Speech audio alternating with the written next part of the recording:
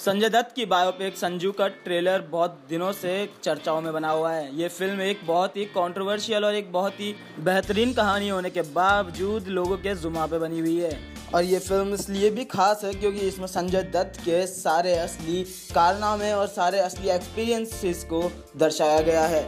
उनकी ज़िंदगी में बीते अभी तक के सारे अनुभव और सारे उतार चढ़ाव को दिखाया गया है। बहरहाल ये मूवी संजय दत्त की बायोपिक है तो उसके लिए ज़रूर ही एक संजय दत्त जैसा कैरेक्टर चाहिए होगा, जो संजय दत्त की असली जीवती को अच्छी तरह से प्रदर्शित कर सके। जब इस फ़िल्म को बनाने के लिए एक्टर की तलाश की गई तो रणबीर कपूर को इस फ़िल्म के लिए चुना गया, क्योंकि रणबीर कपूर ना सिर्फ़ उनके जैसे दिखने में लगते हैं और बल्कि उनकी, जब इसकी शूटिंग हुई तो रणबीर कपूर को ना सिर्फ़ संजय दत्त बनाया गया, बल्कि उनके कैरेक्टर में भी डाला गया।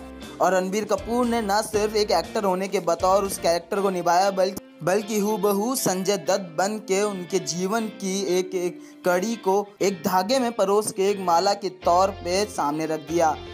अब आपको बता दें कि संजय दत्त की इस बायोपिक को लोग काफ़ी समय से इंतज़ार कर रहे हैं, क्योंकि ना सिर्फ़ संजय दत्त की ये बायोपिक एक फ़िल्म है, बल्कि उनके जीवती पर बनी असली अनुभव की कहानी है, जो संजय दत्त के ज़िंदगी के हर उतार और चढ़ाव को दर्शाती है।